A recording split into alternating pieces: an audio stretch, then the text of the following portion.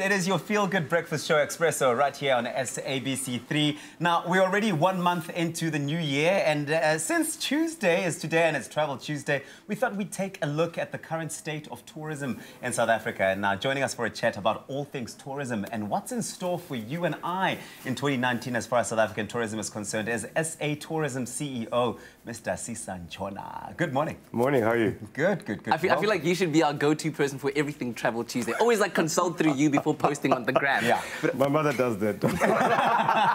Okay, let's not do that. But, but tell us about the, the status of South African tourism right Yep. now. What is it looking like? What's the industry doing? sure.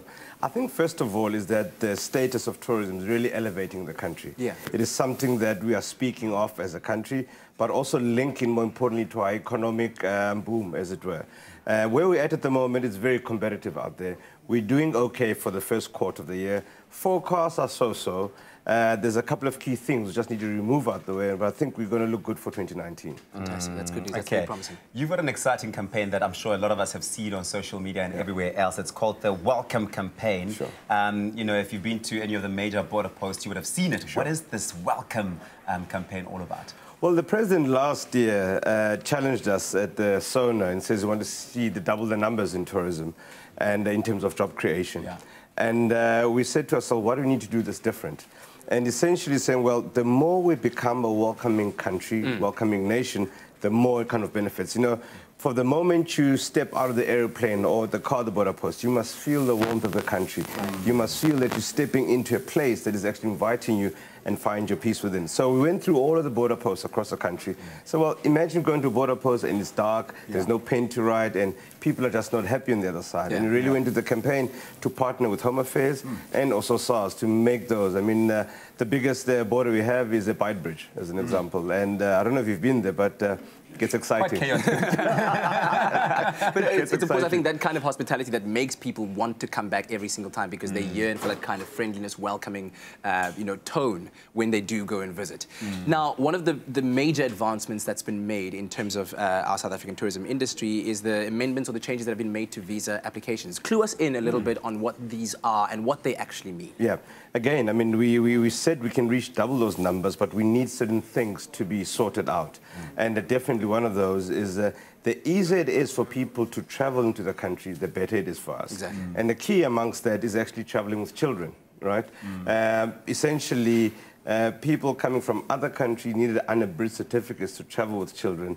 It's a mess, right? And uh, what we understand to be unabridged in certain countries is not really. You know, and uh, you know, if you want to certify a document or satisfy a document, you just go to the police station, get a stamp, it's out.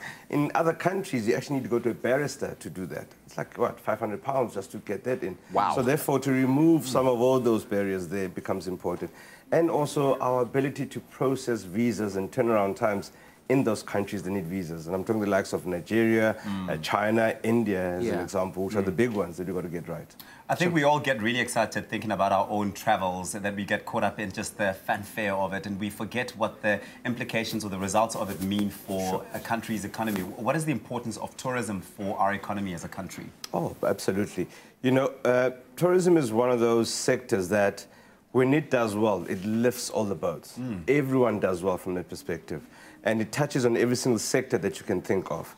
Um, you know, it contributes 3% to our GDP. We want to increase that. So 110 billion rands every year comes into the economy via tourism. Wow. We really want to stake our claim on that side. And uh, the jobs that are created around there, you can imagine that whole ecosystem. Yeah. That's why I always say is that everyone, all 55 million of us, actually do tourism. So I need everyone to be activated. Come I on, guys. everyone to be It's in the way that we smile, the way that we say welcome. Well, We it's are the most all simplest thing. Of just it. helping someone to cross the street, someone who's lost. Yeah. You're actually going to get no immediate financial gain, but at least you're playing the part of actually being a welcoming nation and a country that is able to uh, welcome people. Oh, fantastic stuff. It's really, really exciting. And now that we know that we're all, We're all kind ambassadors. of tacitly ambassadors and employees of, Yeah. you know, uh, Tourism South Africa, where, where do I send my RP file? Where, where, where do I get it?